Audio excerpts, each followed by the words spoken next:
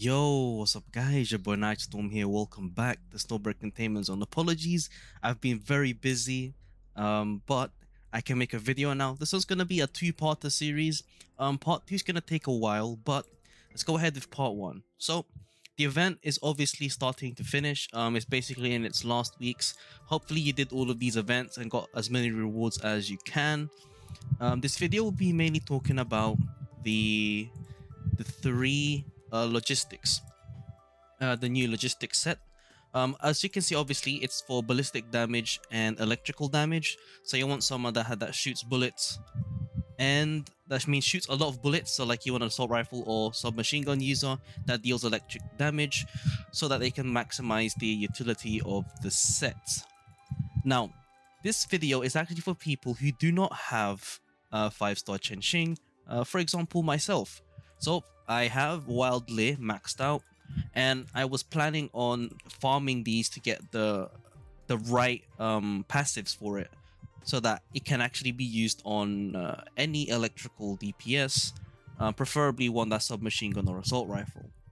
And so I already did, I already managed to farm it already, and I'm here to just talk to you about that.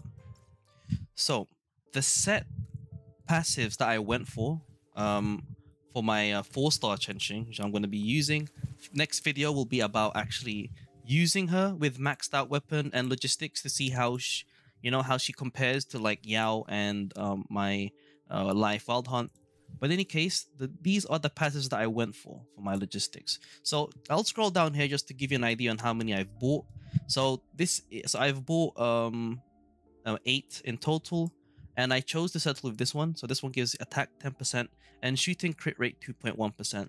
Now, technically speaking, the crit rate 2.1% isn't really that useful as as uh, anything but shotgun users start with zero crit rate.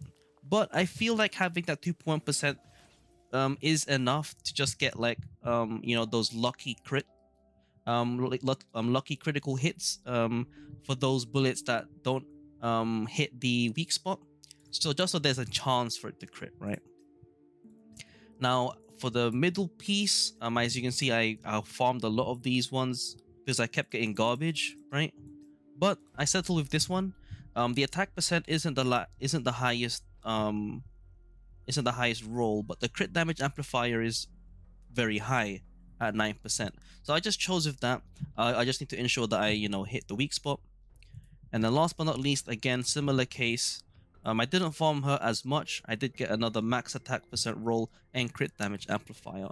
So just to, you know, just to preface, I mainly just went for attack percent and then either between crit rate and crit damage, but preferably just one of the rolls into crit rate and the other two into crit damage as this set is going to be used on characters that shoot a lot of bullets, right? Otherwise, you're gonna you're not gonna get that 45 stacks um, if you're someone like a shotgun user because you're gonna have to reload, right? Only for someone that's that's shooting, only someone that's shooting um, multiple bullets and dealing electrical damage whilst you're reloading, which Chenxing 4 star is actually good for. But yeah, that's pretty much it. Um, this video wasn't meant to be a long video.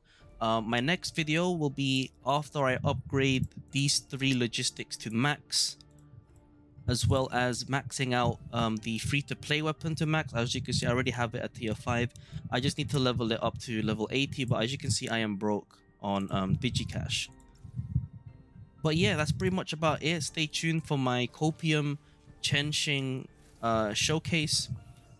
And for Neuronix, I'm going to keep her at 4 out of 6 and I'm going to change the Neuronix to dual on skill and the other two on ultimate.